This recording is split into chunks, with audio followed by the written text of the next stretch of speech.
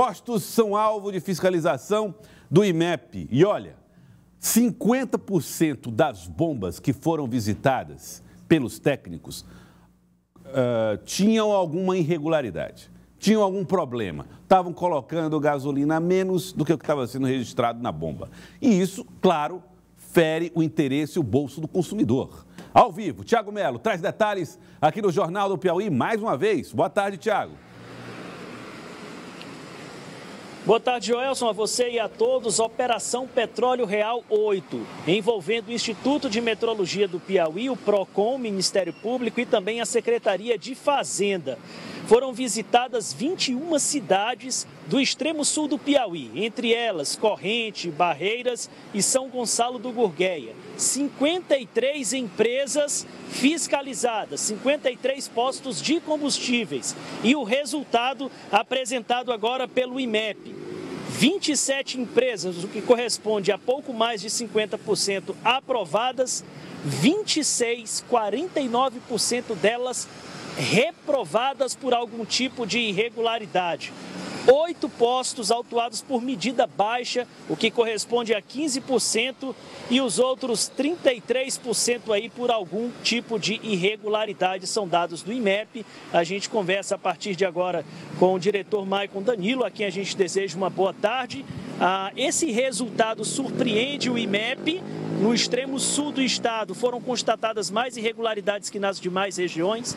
Boa tarde. Boa tarde, boa tarde a todos. Vale ressaltar que o Piauí é o único estado do Brasil onde tem uma operação especial como essa, onde órgãos de controle todos se envolvem nessa fiscalização. Estivemos em parceria junto com o PROCON Secretaria de Fazenda, onde o IMEP constatou esses dados, a qual foi colocado. Essas irregularidades, elas vêm diminuindo apesar de ter sido bem grande a quantidade, mas com o passar dos anos e a intensificação das nossas fiscalizações. Esses oito postos que as irregularidades foram encontradas são as chamadas medidas baixas, que é aquela onde o consumidor paga 20 litros de combustível e você espera receber 20 litros de combustível. Por uma tolerância e uma razão técnica de 100 ml, ainda assim esses postos eles estavam fora dessa tolerância. Vale ressaltar Joel e Tiago, que no dia 26 de junho do corrente ano, o Inmetro ele mudou a sua portaria, que era 60%, 60 ml de tolerância a cada 20 litros, para 100 ml, o que favoreceu de uma certa forma para os empresários. Mas, infelizmente, ainda assim, a gente acaba encontrando várias irregularidades com essa medida baixa. É possível apontar, diretor, se isso é uma ação dolosa ou, de repente, alguma falha é, do equipamento que está dispensando a gasolina? Olha, a, a gente consegue verificar isso quando há uma reincidência. Alguns desses postos, eles são reincidentes, onde as multas elas a reincidência ela vai pesando ainda mais o valor, que são multas que variam entre 100 a 1 milhão e meio. Cada posto que é encontrado com essa regularidade de medida baixa, a bomba ela é lacrada, onde ela só pode ter a sua funcionalidade voltando ao normal após uma empresa credenciada pelo Inmetro ir lá, vem logo consertar e a partir daí ela pode voltar ao seu pleno funcionamento. Nesse caso, foi aplicada alguma multa? Quais as sanções aplicadas?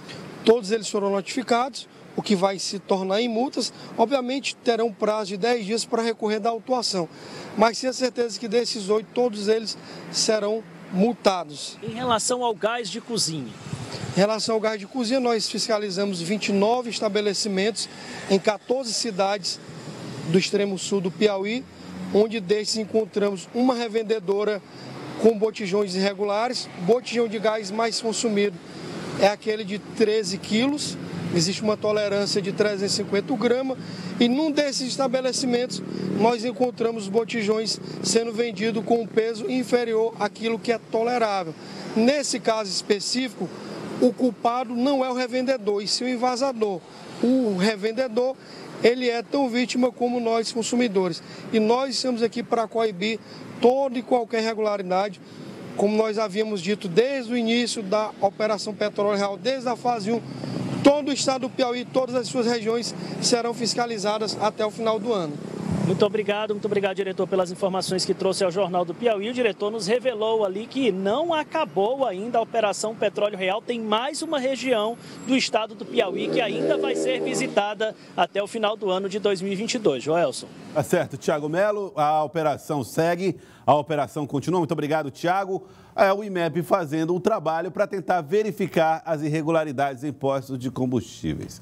A fiscalização em postos de combustíveis acontece do dia 20 de novembro até o dia 26 de novembro, mas como disse o Tiago, seguem ainda em trabalhos de fiscalização, mas nesse período, desses seis dias, foram 21 cidades visitadas, com 53 empresas fiscalizadas pelo, pela turma, pelas equipes do IMEP. Foram aprovadas 27 é, bombas, né? 27 bombas foram aprovadas, o que dá 50,94%, um pouquinho mais da metade.